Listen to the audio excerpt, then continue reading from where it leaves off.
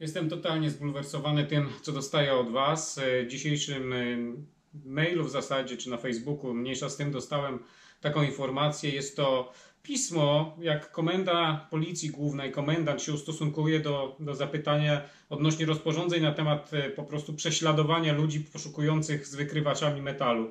W tym momencie macie odpowiedź, że wszystko jest zgodne z nową ustawą o ochronie zabytków i nie ma czegoś takiego jak domniemanie niewinności, tylko możecie być jawnie przeszukani, e, możecie potrakt być potraktowani będziecie jako przestępca i może być przeszukane wasze mieszkanie, będziecie mieli rewizję osobistą, rewizję samochodu. To jest jakiś koszmar. Żyjemy w wolnym kraju i państwo traktuje nas w ten sposób. Ja w ogóle tego nie rozumiem. E, nie wiem skąd się takie rzeczy wzięły. Wykrywacz nie jest zakazaną rzeczą i rozumiem, że jeżeli ktoś chodzi z wykrywaczem, to od razu jest traktowany jako przestępca. Wydaje mi się, że konstytucja gwarantuje nam zupełnie inne rzeczy i mamy prawo czuć się wolni w naszym kraju. I jeżeli nie popełniamy przestępstwa, a jest coś takiego jak domniemanie niewinności, to powinniśmy mieć na to szansę. To znaczy, że jeżeli wychodząc z wykrywaczem, za każdym razem ryzykuję przeszukanie przez policję i założenie mi sprawy w sądzie.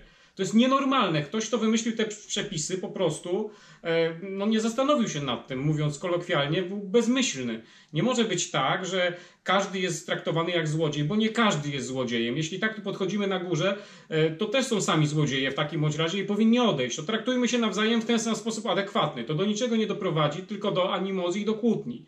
Nie może tak być, to jest niedopuszczalne. To się musi zmienić koniecznie i jeżeli to tak wygląda, no to trzeba będzie się udać na samą górę po prostu, żeby to wyjaśnić. Są ludzie nieuczciwi, ale na litość boską, jeśli ktoś jest złodziejem, to znaczy, że ja jestem złodziejem? No nieprawda, tak nie jest. No, zawsze będą złodzieje, zawsze będą dobrzy, źli ludzie i trzeba zachować jakiś rozsądek. Domniemywać zawsze niewinności i zakładać, że osoba jest niewinna. A jeśli są ewidentne dowody, że ktoś handluje, sprzedaje, obraca zabytkami, oczywiście więzienie, represje, kara i tak dalej, adekwatne do, do tego, jakie jest prawo ale bez przesady, nie w ten sposób, że jeżeli ktoś uprawia jakieś hobby, zajmuje się historią, pielęgnuje jakieś rzeczy, chce robić coś dla kraju, jest traktowany jak przestępca, ile jeszcze wody w Wiśle upłynie, zanim to się zmieni. To nie jest jedyna dziedzina życia, gdzie jesteśmy tak traktowani. To jest w ogóle nie do przyjęcia dla mnie. Ja myślę, że dołożę wszelkich starań, żeby to zmienić. E, ja nie idę na wojnę, ja chcę się dogadać, wiele razy mówiłem o tym, ale nie może być takiej sytuacji, że policja odpisuje, że ona stoi na straży praworządności i jeżeli zachodzi podejrzenie, że jest przestępstwo, to ona będzie działać. To rozumiem, że jeżeli ktoś jedzie samochodem, to istnieje przestępstwo, że jest pijany, więc może prewencyjnie każdego, kto jedzie samochodem, zatrzymać i zawieźć na izbę wytrzeźwień czy na badanie krwi. W ramach prewencji, żeby nie było wypadków. To jest chore po prostu. Ci ludzie są nienormalni, mają coś z głową i tak się ludzi nie traktuje. I nie bezzasadne były nasze obawy, że ta sytuacja będzie eskalowana i widzę, że jest coraz gorzej, bo policja też powinna mieć jakiś rozsądek i wiedzieć, że osoby, które chodzą z wykrywaczami, to nie są bandyci, nie są złodzieje. Ale teraz są bezpośrednie rozporządzenia i taki policjant nie będzie się nad tym zastanawiał, jakie jest nowe prawo, bo on nie jest tego, do tego stworzony. On dostaje instrukcje i będzie ich egzekwował. Czyli teraz zaczną się problemy, będą konfiskaty sprzętu, będą problemy poważne. To już jest nieuniknione. Jeśli taka jest odpowiedź policji, no to jest to dla mnie szokujące. Nie powinno mieć to miejsca w cywilizowanym kraju. To nie jest kwestia opcji politycznej, tylko jakichś podstawowych zasad i przestrzegania konstytucji. Obywatel nie może być traktowany we własnym kraju jako wróg. Kto coś takiego wymyślił? To tak było za komuny, za PRL-u. Kto nie był z nami, to był w opozycji i od razu czapa do więzienia i represje. To ponownie jest taka sytuacja? To trochę chyba się czasy zmieniły i troszkę mamy inny ustrój. Na Boga, ludzie, opamiętajcie się na górze. Tak być nie może i nie możemy być tak traktowani. Ja tego w ogóle nie kupuję, nie przyjmuję.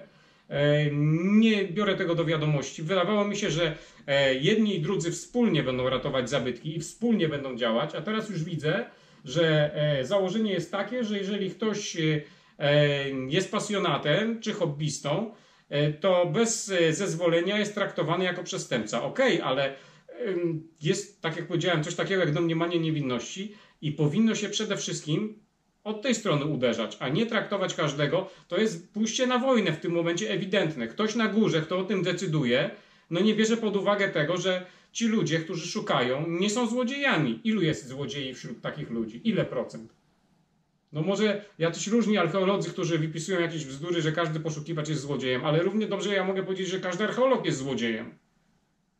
I prewencyjnie może tych archeologów teraz wszystkich należy sprawdzić, bo może coś ukradli na, na, na, w trakcie swojej pracy, wykopywali coś z ziemi, może mają coś w bagażnikach, może mają coś w domu. Prewencyjnie ich aresztujmy, zabezpieczmy im sprzęt, a później możemy im powiedzieć, poklepać ich po plecach i przeprosić, powiedzieć, że sorry, jak nic nie znaleźliśmy.